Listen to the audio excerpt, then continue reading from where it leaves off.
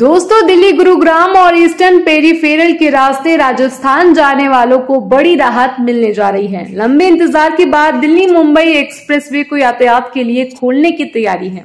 National Highway Authority of India ने सोना से दौसा तक एक्सप्रेसवे को खोलने की अनुमति मांगी है।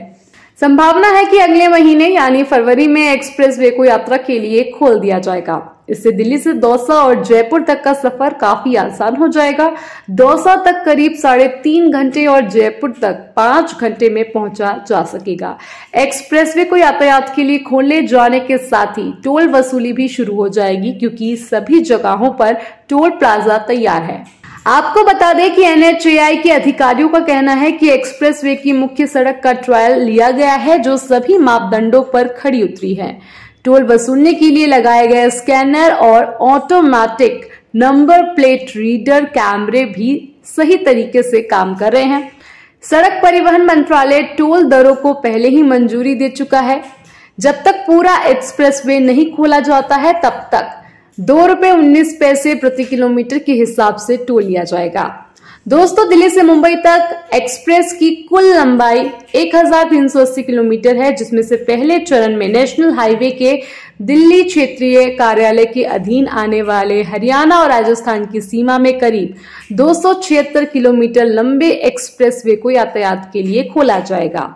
ईस्टर्न और वेस्टर्न पेरीफेरल को जोड़ने वाले लूप के कुछ रैप का काम बचा है इसके साथ ही एक्सप्रेसवे के किनारे होटल, ढाबे और पेट्रोल पंप बनाए जा रहे हैं, जिनका निर्माण अभी चलता रहेगा।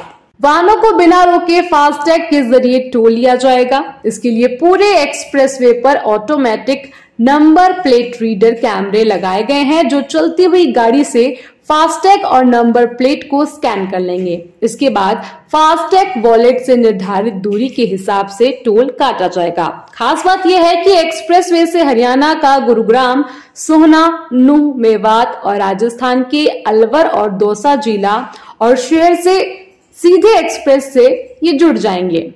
फ़िलहाल इस खबर में इतना ही। बाकी खबरों के लिए देखते रहिए जनता की आवाज़। जनता की आवाज़ यूट्यूब चैनल को सब्सक्राइब करें साथ ही बेल आइकन ज़रूर दबाएँ।